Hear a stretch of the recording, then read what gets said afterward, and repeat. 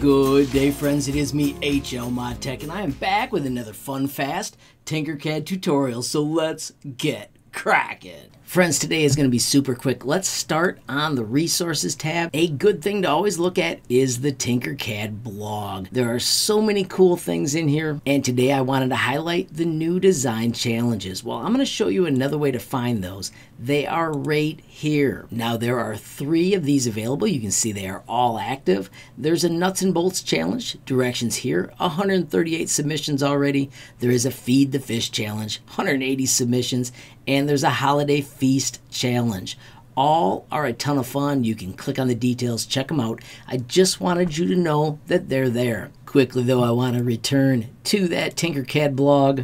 Friends, so many fun things in here, but I just wanted to say thanks again that Tinkercad reached out and took a moment to interview me. If you want to learn a little bit more about me, give it a quick read and learn what I shared. And of course, friends, you'll make my day if you check out the YouTube channel and like, comment, and subscribe. One final reminder today, friends, make sure you click on that gallery every once in a while. Of course, checking out the staff favorites is awesome. Don't forget if you're checking out mine, reactions are always appreciated. And if you check up there, there's like glue tutorial. Down below, you'll likely find an image of something else I'd like you to check out. Finally, though, what I think is so awesome is when you shut off staff picks, switch to the large grid, and of course, check out somebody's amazing design and give them a reaction. I think this is a fantastic way to encourage Tinkercad designers to continue creating and potentially even make someone's day.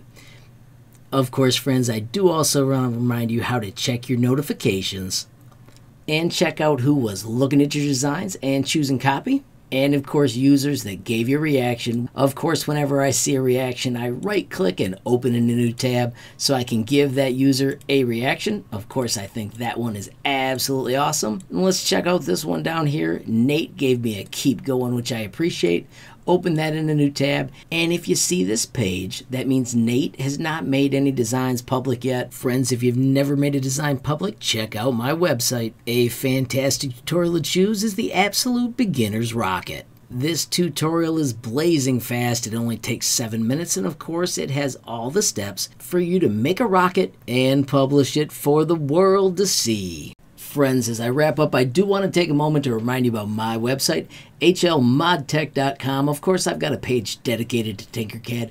We have tons of amazing categories, and then down below, there are day one favorites, the useful starters, and the Tinkercad essentials. Of course, friends, in the corner, you will find the sweet built in message tool. You can click that button, add your question, comment, or suggestion, and reach me almost instantly.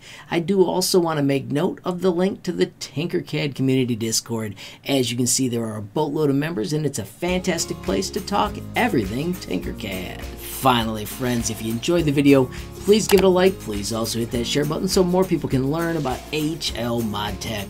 Of course, friends, you absolutely make my day if you take time to leave a comment down below. And if you haven't subscribed yet, what are you waiting for? Smash that subscribe button. And last but not least, hit that notification bell if you want to be the first to know when there's a brand new video from me, HL Mod Tech.